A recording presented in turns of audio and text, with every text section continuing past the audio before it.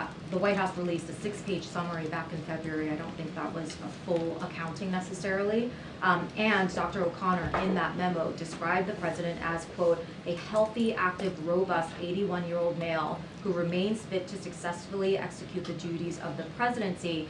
I think that is clearly not what the majority of Americans are seeing. Uh, And we have a new poll from CBS News that says 72% of registered voters say the president does not have the mental and cognitive health to serve as president. So are you saying uh, that the majority of Americans are misguided and that they just need to trust Dr. O'Connor and take him at his word? So a couple of things, and I want to say the president is feeling better, uh, and you saw him last night, you saw him today, but he does indeed still have a cold. Look, I, you know, I, I, I want to be very sensitive here, and I think it is important to be sensitive here. We understand how the American people are, are feeling. We get it. We do.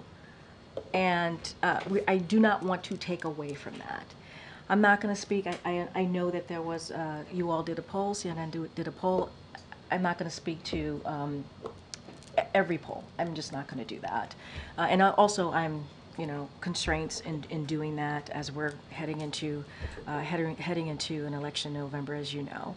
Uh, what I will say is, majority of Americans also support the work that the president has doing in a sense of the, his agenda and what he stands for, what he's been fighting for, whether it's reproductive rights, uh, whether it's an economy that works for all.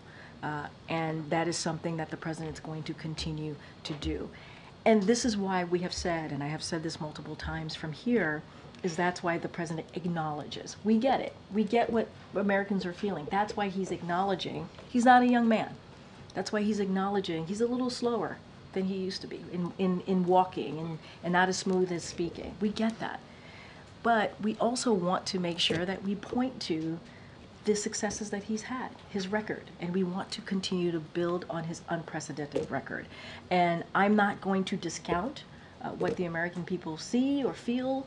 Uh, what I can say is what we know from our side of things. We could speak to his record, uh, and we could speak to what the president has been able to acknowledge. And I think that's important too. And that's basically acknowledging what Americans are seeing and feeling. If you get it, why not release more about his medical, his physical and mental health? We, Why not? what we have released has been very comprehensive. It has been. It has been transparent. Uh, and if you compare it, right, it has. We have put that out there. And, uh, you know, and we'll continue to do so, uh, put that information out there. You know, and MJ, I, I want to be very clear. I get the question that you're asking me, but this is also a president who has had a historic administration. He has in delivering on legislation, key policies. That is because with age comes wisdom and comes experience, and I think that matters as well. Did, did Dr. O'Connor watch the debate? I believe Dr. O'Connor traveled with us to the debate, so. Did he have any concerns after seeing the president's No, not at all. Not I have all. one more question.